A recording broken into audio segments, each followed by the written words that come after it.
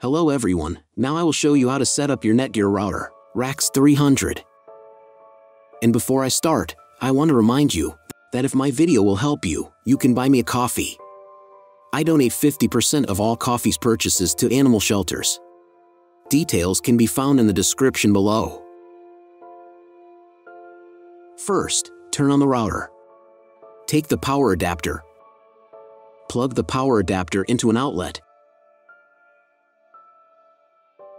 and connect the other end into the router.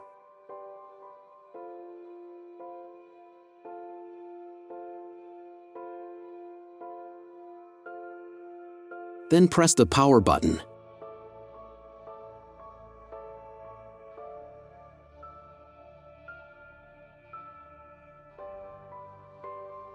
When the router is powered on, the light will turn on.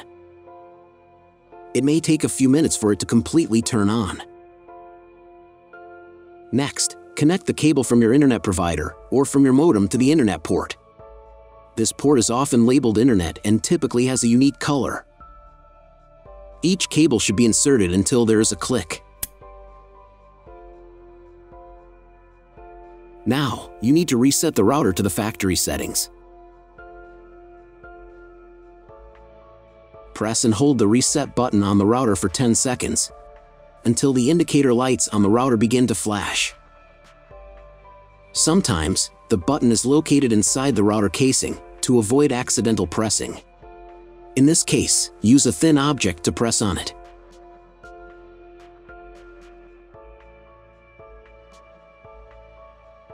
The router will reboot, and the settings will return to the factory defaults.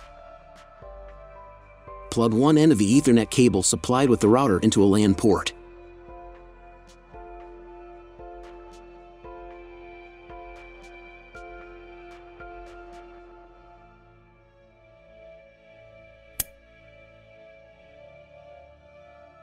Plug the other end of the cable into your computer's Ethernet port. Please, wait a few minutes for connection. The router is connected to your computer. Now, you will need to set it up. But first, I'll show you another way to connect the router if you don't have an Ethernet cable or your computer doesn't have an Ethernet port. Connect the router to the power source and plug in the cable from your internet provider.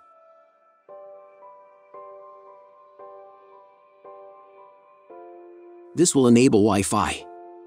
If your router is new, your Wi-Fi network name will be the name of the router. Your router has its own Wi-Fi network name and password printed on a label.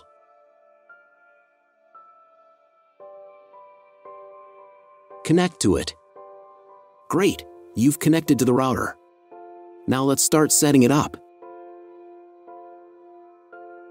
First, open your browser and go to the URL you see on screen. Use the URL bar instead of the search bar. At the beginning, click here.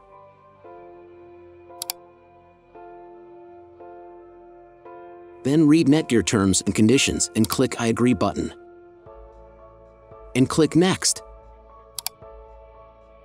Click Next again. If your router's settings don't look like mine, it means your router has a different firmware. I made a video for every firmware type. You can find all the links in the description down below. The first thing you need to do is set up a new password. The admin passwords is used to log into your router's web interface. Pay attention to the password requirements. Type new password in the first field and duplicate password in the second field. Then select two security questions and write answers for them. You need them in case you need to reset the admin password.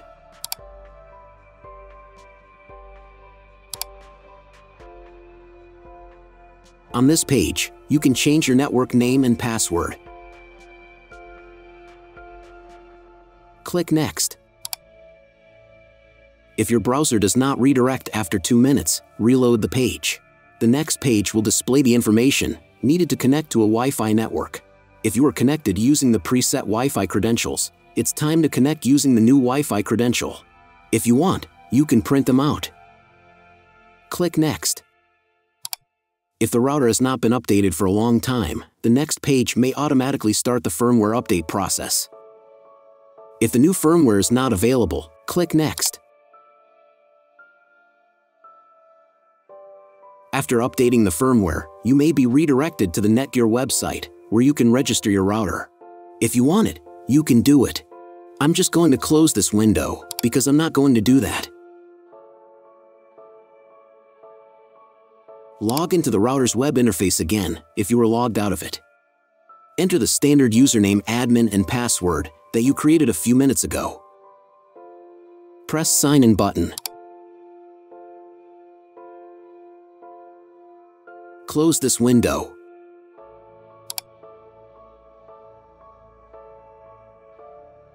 In the upper right corner, you can change the language of the router's web interface. To access the internet, go to Advanced. Setup Wizard. Press No. I want to configure the router myself. Then press Next button. On the next page, select the Internet settings. In most cases, there are two options, connection with and without a login. Almost always, your internet connection will not require a login. You can find all of this information in your internet service provider's contract. If your internet connection does not require login, or you do not know whether it does, select No. Leave account name and domain name unchanged. Select Get dynamically from ISP in the Internet IP address section.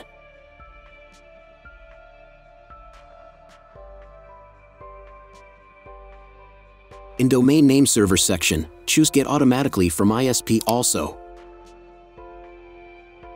If your ISP only allows internet access to a specific MAC address, you need to clone the MAC address of the primary computer. If you're unsure about these settings, choose to use default MAC address. Check again that your settings are the same as mine. And click Apply. In most cases, it is not necessary to clone the MAC address. But if you can't get connected after the quick setup, I'm going to show you how to clone the MAC address later in the video. Now you must reboot the router. To do this, go to the router's web interface if you were logged out of it.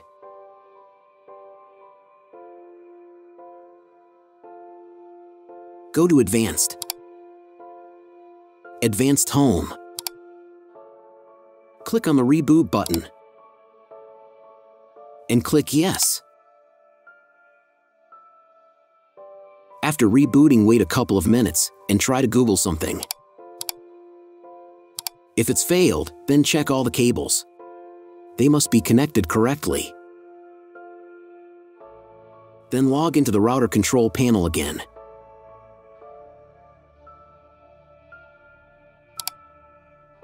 Go to Basic. Internet. And choose Use Computer MAC Address.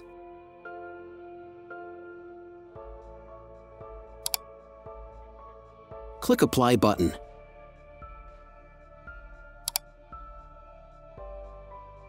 And then reboot router again.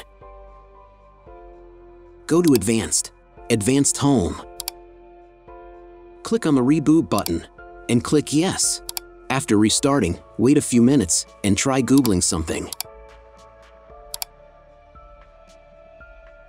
That's all. If my video was useful, please support my work. You can buy me a coffee. I donate 50% of all coffee's purchases to animal shelters. Details can be found in the description below.